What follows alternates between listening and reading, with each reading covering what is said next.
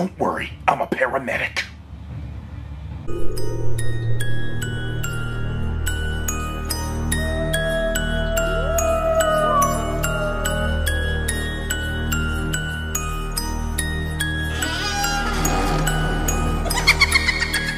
Yo, what's up everybody? Welcome to day 10 here on the 31 Days of Horror. I'm your host Moodz616 and thank you once again for stopping in guys. Yeah, day 10 is here and I've got yet another one from Anchor Bay here.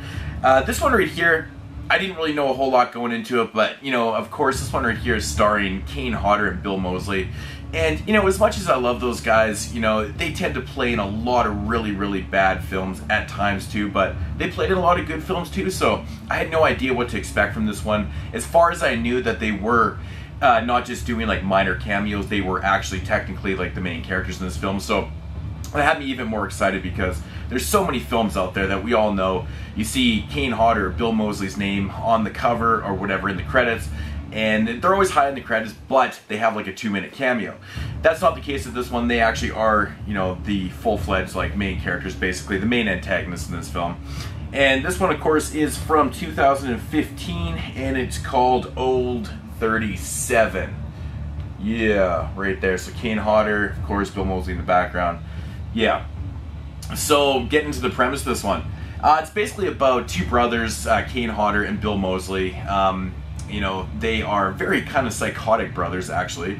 Uh, and they simply, what they do is they, they intercept 911 calls on this kind of desolate road um, that they, you know, that they pursue.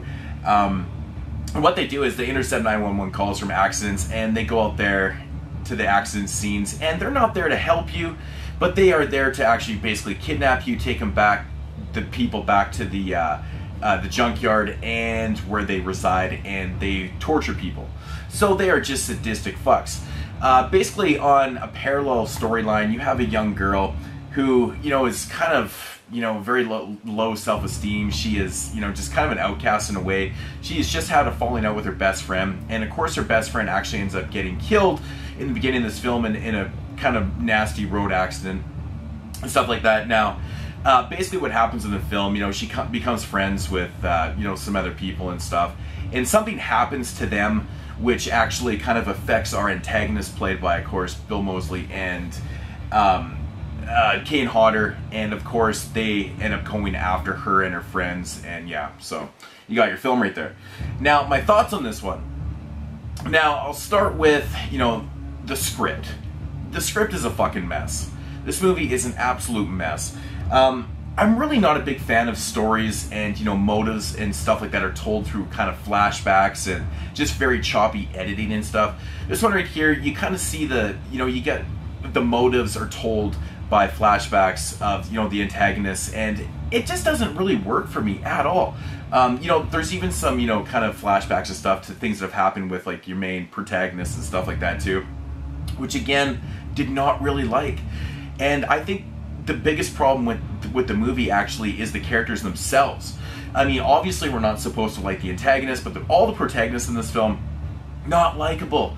No one is likable. Even the lead girl, which her name escapes me right now, is very not that likable. You know, she's kind of whiny.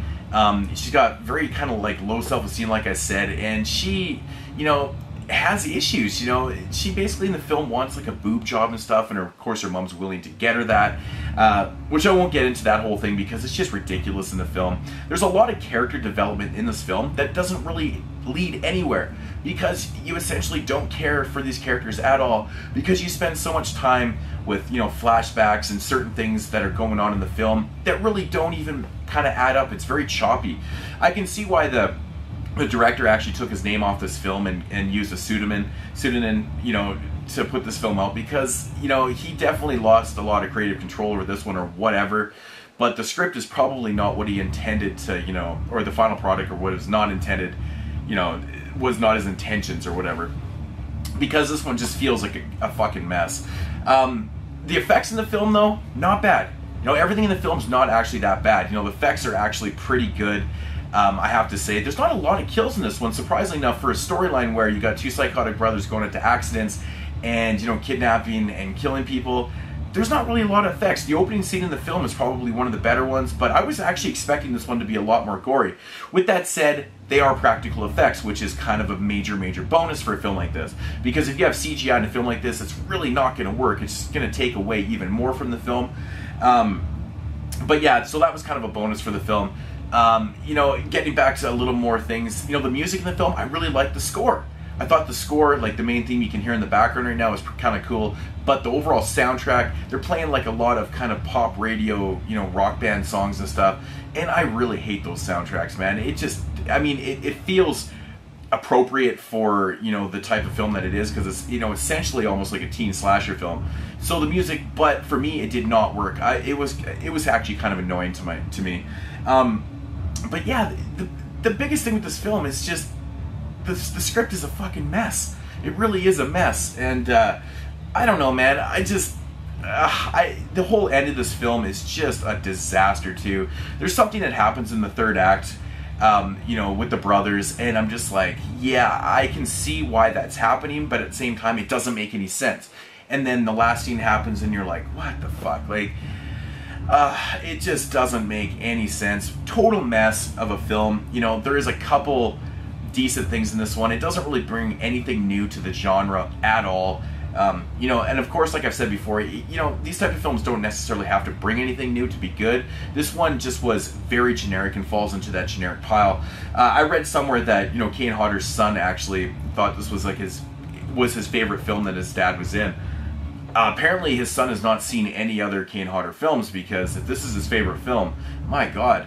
Um, you know, I will say though, Bill Moseley actually was pretty decent in the film. Kane Hodder, of course, has another non-speaking role throughout the film. He wears a mask and he doesn't really speak. He's kind of played off as like the dumb, big, you know, retarded brother, and I use that word because he's called that in the film. Um, but overall, not very enjoyable. I hated the characters in this film. Sucked so bad.